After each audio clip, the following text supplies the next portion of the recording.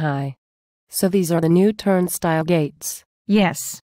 They were installed to increase security in the library building. What do I have to do to get in? You will need your Bradley ID card and then just swipe it through the card reader or pat it against the sensor pad. What if I forget or don't have my student ID? You will have to have some form of picture ID. Then we will look you up in the student directory. So everyone who comes in the building has to show identification?